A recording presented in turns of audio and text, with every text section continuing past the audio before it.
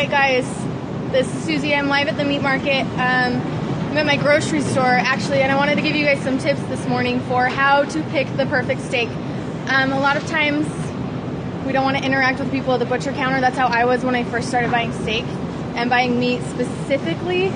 But in an attempt to avoid that personal interaction, I kind of missed out. And so I want to show you guys why I go to the butcher counter every time now instead of just buying from them from the pre-selected, pre-packaged stuff. So we're looking right here. We've got some New York steaks. We've got some ribeye steaks. And they all look pretty good under the lights, right? My first tip is for you is to grab that package of meat and move it out from these pretty beautiful lights. Come look at them in the natural light. Because then you kind of get a better sense of how fresh your meat is. My second tip is to always look at the packaged date. So they have a sell by date, right? And you always want to look at the sell by date, but they have a pre-packaged date. And if you're looking at the package date, it can tell you when those steaks were cut and when they were put in the package. And to avoid having, see those ones were cut on the 29th. So three days ago those steaks were cut. But if I just walk over here, we're walking this way.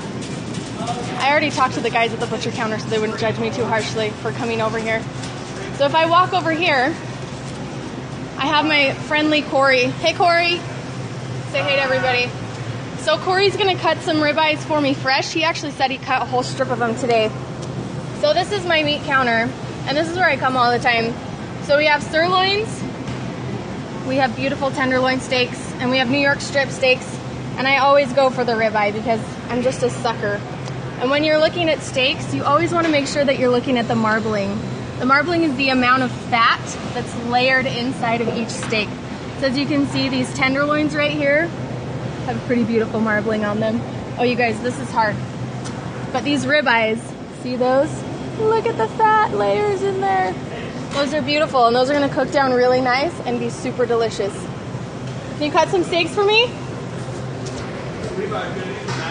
Levi's gonna cut steaks. So see this big hunk in the front right there? I'm gonna have him slice my steaks fresh. And I want mine, how thick, how thick do you think they should be, Corey? I'll go about an inch. About an inch thick. Inch about Okay, so to compare that, I always do, somebody's asking me if I do bone in.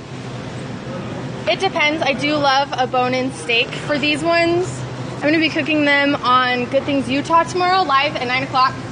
Um, so I want four. Four of them? Yes. So I don't want them to be bone in because I don't want the host to have to deal with trying to cut around a piece of bone. But I do love to cook a bone in steak. If I'm going to be doing it for myself, that's my preference. Um, any more questions while I'm at the meat counter? Shout them out.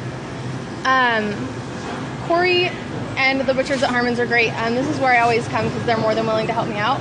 And while we're here, I want to show you guys they dry age their beef. And dry aging is this amazing process where meat is kept at a very specific temperature and humidity level. You can see they're all labeled the date that they were packed and the date that they're going to be ready. And there is a month in between the date that they were packed and the date that they're ready to go. Um, how long do you guys age your beef? Uh, here it's uh, two weeks dry. Two weeks? It's, uh, two weeks uh, wet age and two weeks dry age. Sweet. Adds a lot of flavor, makes it a lot more tender. Okay, why would you pick a dry aged steak?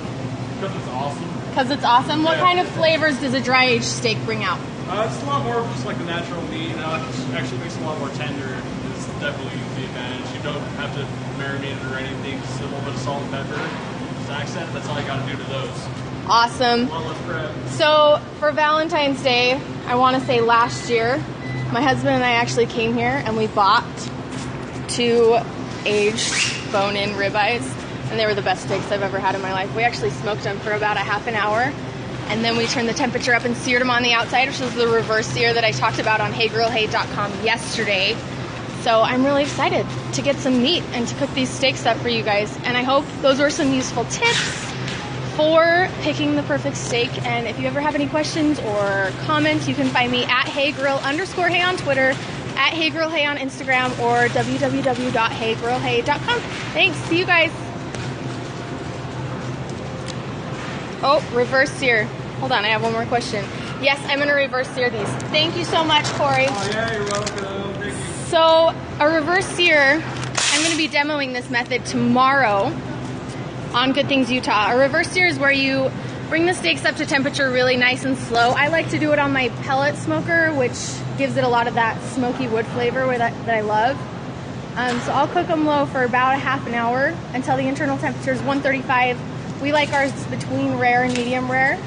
And then I coat them with just this little layer of melted butter and then sear them off and it kind of gives us this caramelized crunch in a high heat pan. Any other questions? Anyway, I'm really excited to cook for you guys tomorrow. I've never sous vide a steak. I really want a sous vide, but I haven't justified paying for for it yet. But I love that you can put the flavors in the bag with the meat when you do the sous vide, and it kind of gives it that enhanced flavor. I've eaten a sous vide steak, but I've never done one myself. Anyway, thanks for joining me, you guys. Um, catch me next time. See ya.